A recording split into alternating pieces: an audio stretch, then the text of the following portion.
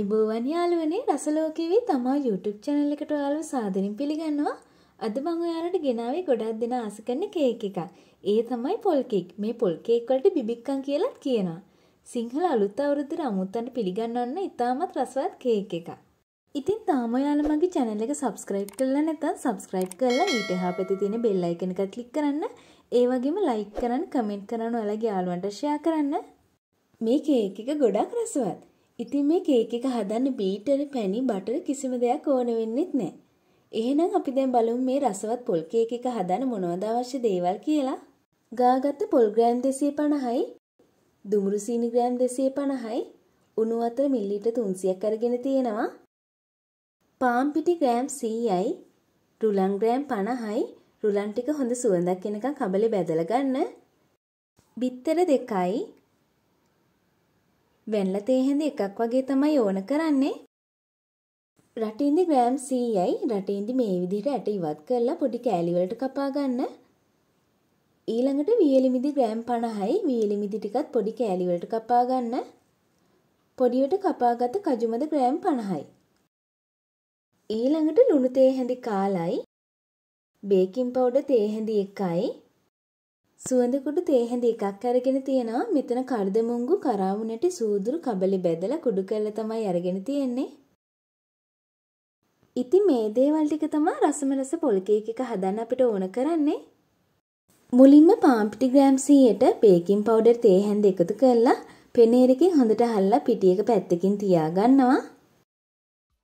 මුලින්ම භාජනයක් ලිපේ රත් වෙන්න තියලා සීන් ටික කැරමල් කරගමු. සීනි වලින් භාගයක් දාගන්නවා. ලිපේ ගින්දර මධ්‍යම ප්‍රමාණය තියාගෙන තමයි සීන් ටික කැරමල් කරගන්නේ.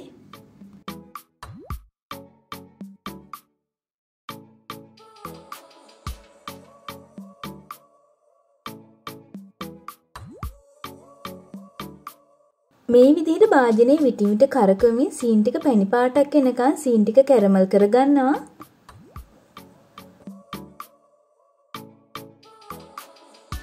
මේ විදිහට කැරමල් එක තද පාටක් වීගෙන එද්දී උණු වතුර මිලිලීටර් 300 ටික ටික එකතු කරගන්න ගමන් හොඳට හැදි ගාලා කැරමල් එකේ සීන් ටික දිය කරගන්නවා.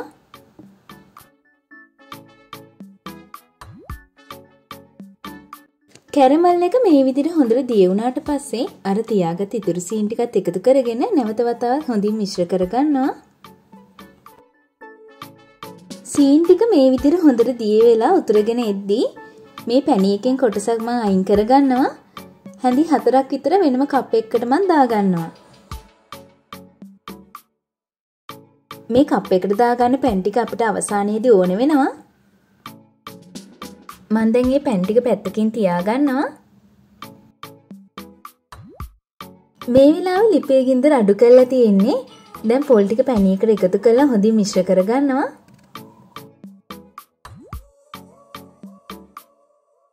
ඊළඟට පොල් කේක් එක රස කරගන්න බැදලා කුඩු කරගත්ත කර්දමුංගු කරාමුණට එනසල කුඩු ටික දාගන්නවා. ලුණු තේ හැඳි කාලත් මේ වෙලාවේ එකතු කරගෙන හොඳින් කලවම් කරගන්න ඕනේ. මේ පැණිපොල් මිශ්‍රණය තියෙන්න ඕනේ මේ වගේ තෙත ගතියට. ඔයාලට පේනවනේ මේ පැණිපොල් එකේ හොඳ තෙත ගතියක් තියෙනවා. ඊළඟට මේකට පොඩියට කපාගත්ත රටින්දි ටිකයි වීදි මිදි කජු ටික දාගෙන හොඳින් කලවම් කරගන්නවා. මේ ටික හොඳින් මිශ්‍ර කරගත්තට පස්සේ මම දැන් ලිප ඕෆ් කරලා නිවෙන්න පැත්තකින් තියාගන්නවා. ඊළඟට බිත්තර දෙකත් හැන්දකින් හොඳට පෙනෙනකන් ගසා ගන්න ඕනේ. මේකට බීටර් ඕනෙම නැහැ. පෙනෙනකන් ගසා ගත්තට පස්සේ ඒකත් පැත්තකින් තියලා අපි අර නිවාගත්ත පොල් පැණි එක වෙනම භාජනයකට දාගන්නවා. මේ නිවාගත්ත පොල් පැණි එකට දැන් රුලන් ටික එකතු කරගෙන හොඳින් කලවම් කරගන්නවා.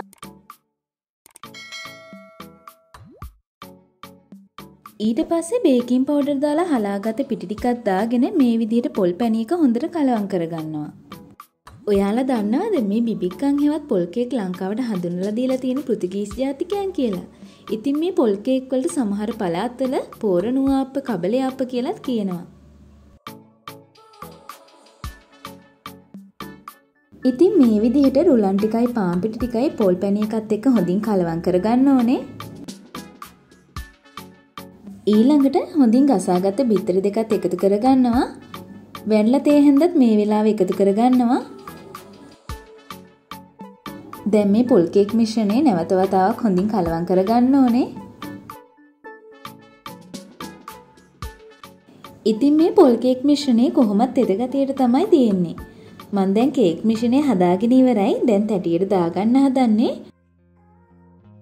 ඉතින් කේක් මිශ්‍රණය දාගන්න තැටියේ බටර් ටිකක් හරි මාගන ටිකක් හරි වටේටම ගාලා තෙල් කඩදාසි මේ විදිහට තැටිය ගානට දාගන්න ඕනේ. දැන් අපි පොල් කේක් මිශ්‍රණය තැටියට දාගමු.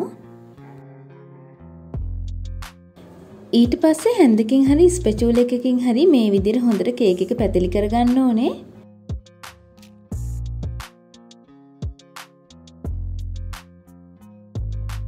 තෙල්සිය සංසික එකසිය හැට විනාඩි දහයක් ෆ්‍රී හිට් කරගත් අවන් එකට දාලා විනාඩි හතලිහක් පමණ මං කේක් එක බේක් කරගන්නවා. සමහර විට කේක් එක බේක් වෙන්න යන වෙලාව අවන් එකෙන් අවන් එකට වෙනස් වෙන්න පුළුවන්. මේ තියෙනවා විනාඩි 40ක් බේක් කරගත්ත කේක් එක. කේක් එක හරිම සුවඳයි. අපි දැන් ටූත් පික් එකක් ගහලා බලමු කේක් එක ඇතුළත හොඳට බේක් වෙලා තියෙන්නේ කියලා. මේ විදිහට ටූත් පික් එක පිරිසිදුව තියෙනවා නම් කේක් මිශ්‍රණය ඇලවිලා නැත්නම් ඒ කියන්නේ කේක් එක හොඳට බේක් වෙලා තියෙන්නේ.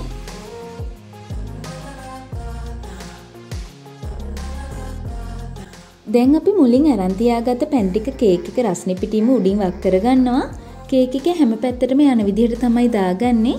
පැන් ටික දාගෙන නැවත වතාවක් කේක් එක oven එකේ විනාඩි 5ක් පමණ බේක් කරගන්නවා.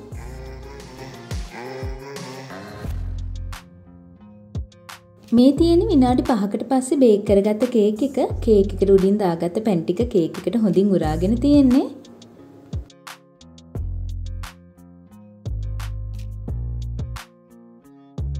මේ තියෙන කේක් එකේ යට පැත්තේ චුට්ටක්වත් පිච්චිලා නැහැ. තෙල් කඩදාසිය පහසෙන් ගලව ගන්න පුළුවන්.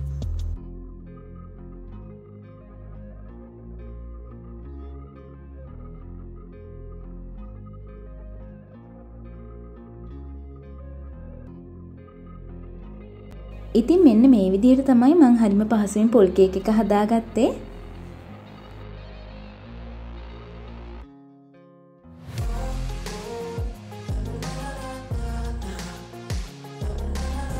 ඉතින් ඔයාලටත් පුළුවන් ලේසියෙන්ම රසට මේ විදිහට පොල් කේක් එකක් ගෙදරදී හදාගන්න. මේ රෙසිපි එක try කරලා ඔයාලගේ අදහස් කමෙන්ට් එකක් විදිහට දාන්න අමතක කරන්නත් එපා. ඒ වගේම තාම මගේ channel එක subscribe කරලා නැත්නම් subscribe කරලා ඔයාලගේ යාළුවන්ටත් බලන්න share කරන්න. ඒ වගේම like කරන්න. එහෙනම් අපි තවත් දවසක රසවත් වීඩියෝ එකකින් හමු වෙමු. ඔයාලට සුබ දවසක්.